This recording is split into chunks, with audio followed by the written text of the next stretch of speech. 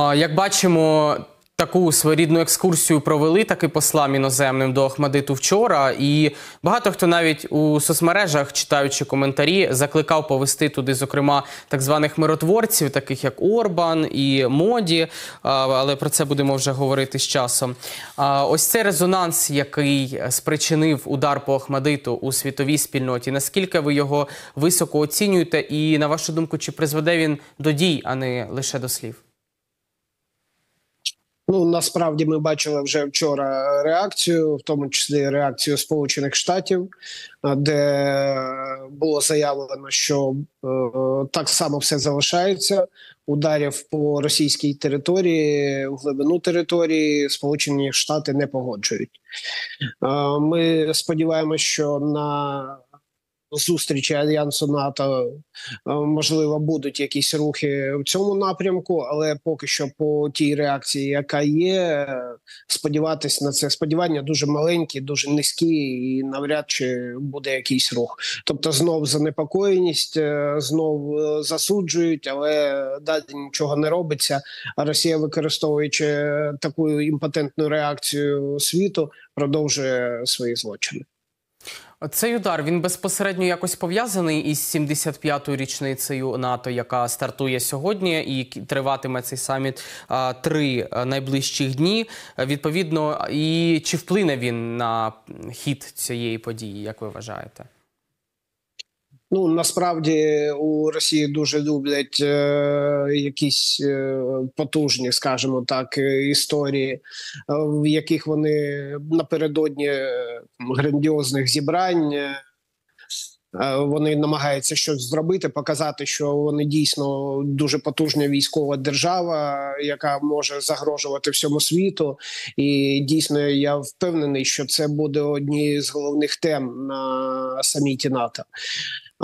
Але чи буде якась реакція подальша? Ми знаємо, вже є попередня інформація про те, що там буде сказано, що Україна має рухатись НАТО, що це вже е, той шлях, з якого не звернути, але знов таки скільки той шлях буде йти Україна до повного знищення всього населення такими ударами Росії. Тому чекаємо, але сподівання дуже дуже низькі з цього приводу. На двох реакціях хочу акцентувати. Багато було знову ж таки вчора їх від е, світової спільноти. Це і лідери держав, і на рівні МЗС та інших відомств. Чеський лідер Петр Павел і міністерка закордонних справ Латвії Байба Берже. Перший заговорив, що прагне почути на саміті консенсус щодо визнання Росії загрозою цивілізованого світу, до якої слід готуватися. Але більш красномовна, як на мене, реакція міністерки Латвійської. Вона відзначилась більш різкою заявою, яка звучить так: Кремлівський м'ясник атакує дітей, матерів, лікарів, вчителів, військовий злочинець, звинувачений міжнародним кримінальним Верховним судом вбиває невинних заради свого задоволення. Кожен, хто підтримує або сприяє цьому, також несе відповідальність. Орбан, який їздив у Росію після того, як відвідав Київ, міністр закордонних справ Індії, який зараз також перебуває в Росії. Чи не про них говорить міністерка з Латвії, на вашу думку? Е, ну про них говорити ми розуміємо. Їх позиція чітка, і Вони вже неодноразово про це казали. А от що більше бентежить, це те, що була заява, що на саміті НАТО Болгарія виступить з заявою про те, що треба припиняти. Е, так званий, як вони називають, конфлікт в Україні, е, що потрібно підписувати мирний договір і будуть намагатись штовхати нас до миру. Оце більш страшна історія. Бо якщо такі настрої будуть збільшуватися в країнах НАТО, це і в країнах е, Євросоюзу, це дійсно е, дуже небезпечно для нашої країни. Українці і союзники виходили на мітинги у деяких європейських містах і в Сполучених Штатах. Чи може це дати якусь нову хвилю для того, щоб знову ж таки е, тамтешні чиновники побачили, що запит від суспільства і не лише від українських біженців, а й від е, діаспори, яка там проживає, та й звичайних е, громадян їхніх, він є на допомогу, на поставки, і не можна говорити про те, що цього запиту немає, і виправдовуючи відсутність цієї підтримки і керуючись якимись власними політичними амбіціями, там особливо в країнах, де тривають вибори і інші процеси політичні. Е, На превеликий жаль, е, тих е, країн, міст, партнерів ми відчуваємо по собі. Залишається вже не так багато, хто хоче допомагати в великих обсягах Україні. А що стосується дій населення місцевого, вони дійсно, як кажуть, вже втомились від української тематики, і допомога приватна майже вже добігла до нуля. Тому це е, те, що відбулося вчора, той теракт російський, е, він може дати поштовх новий, але знов наскільки його вистачить, це перше. А по-друге, наскільки Україна буде адекватно цю допомогу використовувати, бо всі кажуть одне й те саме. Корупційні скандали в Україні, корупція, і це вбиває ще більше. І допомога від наших іноземних партнерів е, через те стає з великої річки е, маленьким струмком, тому що вони бачать, як використовується, що робиться, коли з фронту лунають е, постійно питання від наших хлопців про донати. А на заході питають, а де ж вся та техніка і все те, що передають українській армії.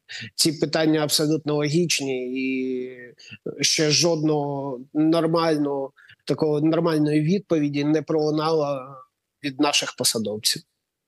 Відповідь була від очільника офісу президента е, пана Єрмака, який заговорив про те, що е, історія з корупцією в Україні нібито перебільшена в очах заходу. І ну не знаю, як ви можете оцінити цю реакцію, і чи це те, що хотіли почути партнери. Навряд чи вони хотіли почути просто констатацію факта без е, підтвердження його якимись аргументами. Тому давайте розуміти, це питання буде виникати, і на саміті НАТО так само воно, е, не дивлячись на вчорашній російський теракт, так само буде виникати питання корупційних дій. І вже неодноразово про це казали, неодноразово писали. І ми бачимо, що західна преса, американська, європейська преса дуже часто згадує саме корупційні оборудки в Україні, і це наш найбільший ворог. Чимало хто напередодні порівнював ось ці кадри удару по Києві, ці чотири щонайменше займання з величезними стовпами диму у небо з Нью-Йорком 9.11. І плюс ми маємо реакцію світової спільноти, знову ж таки, з якої ми починали. На тлі цього, як заходу далі говорити або натякати, кожен по-різному, про- на мир з Росією, на переговори, на зняття санкцій. А, Чи е, навіть після такого жахливого терористичного акту, про який кричав буквально вчора і сьогодні продовжує увесь світ, Європа і Америка будуть готові згодувати Путіну вівцю для того, щоб він е, не зжер усе стадо? А, Знаєте, ще в 2015 році я казав про те, що Путін е, не хоче домовлятись е, не з Порошенка, е, не з Меркель, е, не з Оландом. Е, Путін хоче домовлятись з Америкою. Він е, ще на той момент е, хотів і готовий був до цього, але на сьогоднішній день Америка вже не готова домовлятись з Путіним. Вони будуть, скоріш за все, домовлятись з Китаєм. Якщо не вийде саме домовитись з Китаєм, Індією, то вони будуть тиснути до тих умов, поки не погодяться на певні поступки щодо Росії. Бо реально ми можемо.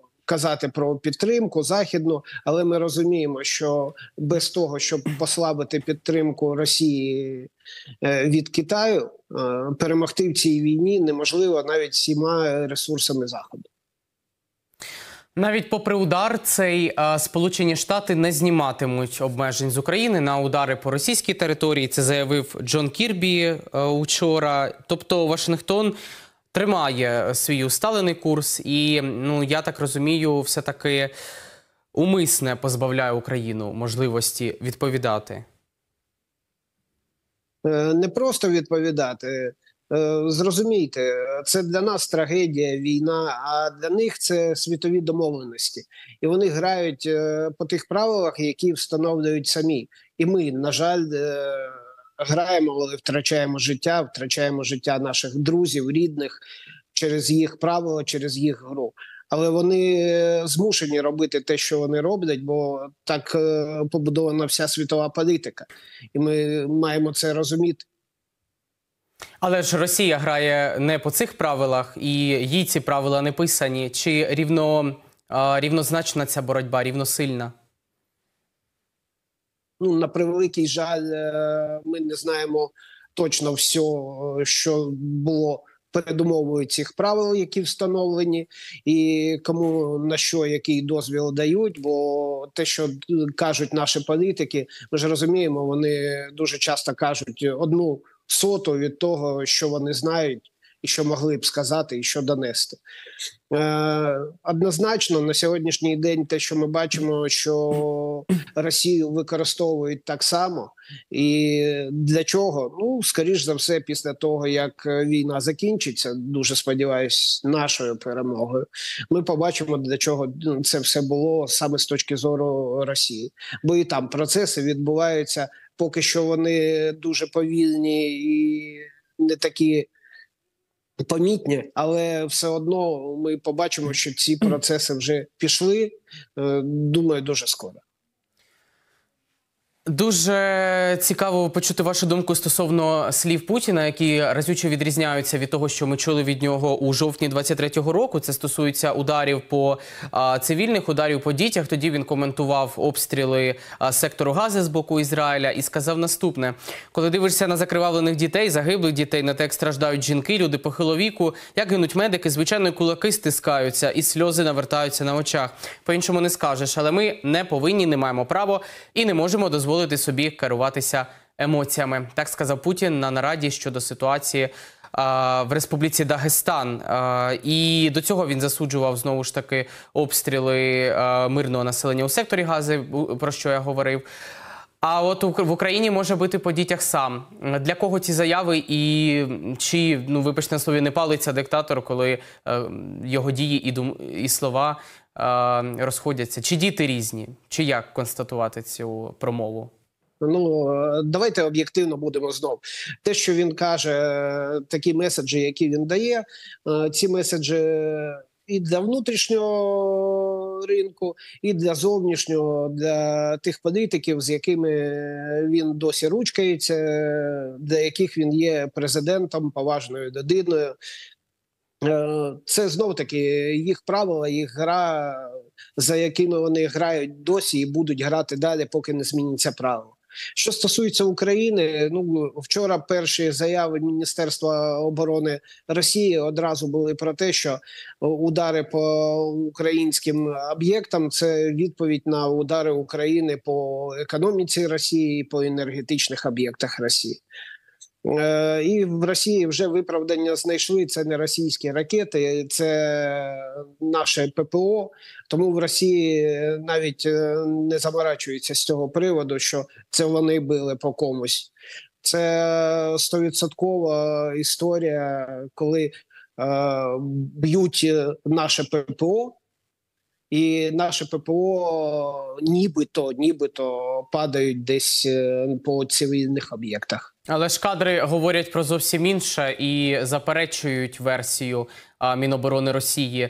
До речі, це той випадок, коли зазвичай не показують і взагалі заборонено показувати кадри влучань і моменти влучань. Але в цьому випадку це навіть зіграло на руку, тому що світ побачив, що летить е, крилата ракета Х-101 по е, у двір Охмадиту, а не будь-яка інша, яку використовують, зокрема, українці для ППО, чи то будь-яка інша російська ракета. Тому є факти, і їх підтвердила СБУ. До речі, ворог вдарив по Охмадиту ракетою Х-101, як я вже сказав. Це встановили слідчі служби безпеки.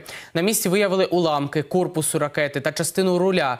СБУ розпочала кримінальне провадження і кваліфікує скоєне як воєнний злочин.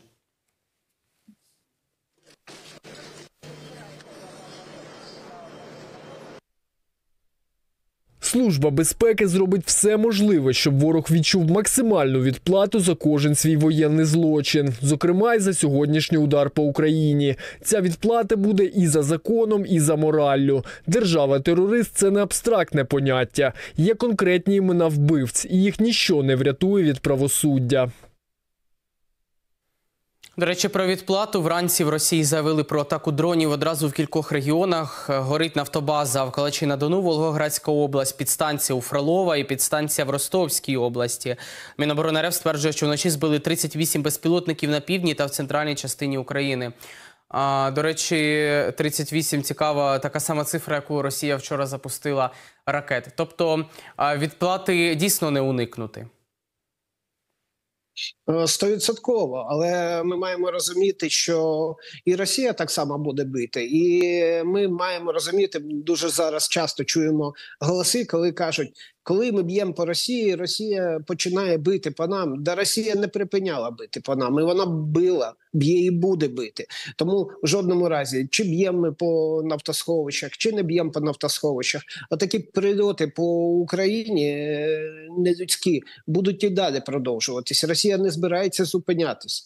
Це має зрозуміти кожен українець. В жодному разі не збирається зупинятись. Ніщо її не зупинить, і в жодному разі, якщо ми перестанемо стріляти, як е, хтось там е, вимагає чи каже, Росія просто накопичить ще е, свіжі сили і вдарить знов, і буде бити до тих пір, поки не досягне своїх результатів.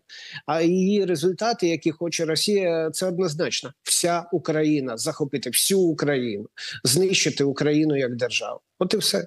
Ну, ви ж бачите, ці заяви від людей це ж довга рука російської пропаганди. Е, Тобто, вже виявляється, не ми е, відбиваємо російські атаки і відповідаємо на них на повномасштабне вторгнення, яке сталося у лютому е, 22-го року. А е, люди говорять про те, що нібито це ми провокуємо Росію, стріляємо по ній і відповідно маємо удар по Охмадиту. Е, Це те, чого хоче зомбоящик.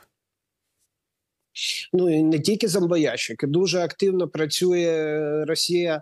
е, Нових агентів е, собі вербує Е, так само старі попросинались всі. Служба безпеки України. Мені здається, вже більше трьох тисяч підозр, е, карні справи е, вже і посаджено зрадників, але вони не закінчуються. Ми бачимо, що такі затримання відбуваються майже щодня. У служби безпеки України роботи вистачає, тому що на сьогоднішній день, коли економічна ситуація важка, а у росіян е, грошей як у дурня фантиків, вони намагаються купувати людей активно. Ті самі підпали машин військових е, вже доведено, що це справи вони працюють на ФСБшників, які так само скидають е, гроші на карту, вимагаючи підтвердження підпалу машини. А люди в важких економічних умовах згоджуються на що завгодно.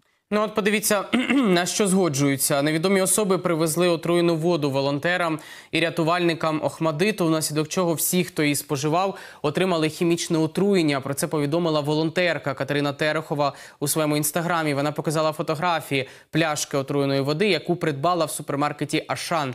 Крім того, Терехова зазначила, що хімічне отруєння отримали волонтери з її команди та офіцери поліції. Нині справою вже займаються правоохоронні органи. Давайте почуємо. Якісь я не можу сказати інакше. Вони просто отруїли пляшку з водою. Це Ашановська вода. Сінь, як вона називається? Середньогазована ашановська. Ашановська вода, середньогазована, Питна, просто питна. питна. Покажи. Слобідська. Отака слобідська, друзі. Вона з такою етикеткою. Бачите, тут на хвилі темно-синій колір. Коли ми знайшли ще упаковку такої води, там е, хвиля іншого кольору. Навіть якщо я тебе не знаю, світ покарає. Повір, я за такі слова ручаюсь. Слава Богу, ми всі живі, але лякає той факт, що один з поліцейських просто вмився цією водою, а інший поліцейський він її пивнув, друзі. І зараз його також відкачує швидка, і це повний Ну і у поліції підтвердили, що почали перевірку скарг волонтерів на отруєння питної води, яку принесли невідомі. А, тобто, е, і тут навіть, вочевидь, Росія намагається А, вибачте на слові, добити тих, кого не вбила під час масової атаки. І люди, на жаль, досі на це йдуть, на цю співпрацю. Е, Саме тому ми в таких історіях і кажемо, що треба дуже е, з величезною відповідальністю. Треба ставитись до тих самих там під час тривог е, знаходження людей в закладах освіти. Чому в освітній процес кажуть, що в садочки, в школи. Краще е, сторонніх людей не допускати, бо уявіть собі, коли в школі розраховані на дітей, вчителів, технічних працівників зайде така особа, може відбутися що завгодно. Найстрашніше, коли 500-600 дітей там знаходиться в одному приміщенні, і може зайти е, незрозуміла особа. Тому ми маємо розуміти, що ми воюємо з е, підлим е, супротивником, який і робить що завгодно, і очікувати від нього можна чого завгодно.